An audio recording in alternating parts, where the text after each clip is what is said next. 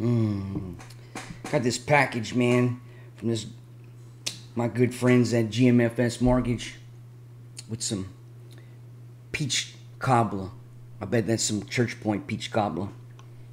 Mmm. It's good too. I'm better than getting off of work or hanging out in my office with them. Sipping on little bit of uh, changing lives. But I just want to thank uh, GMFS Mortgage, Mimi, Franny, Brandy, and Justin. Thank you guys for a great year in 2018. It's going to be a fantastic year in 2019. God bless you and Merry Christmas.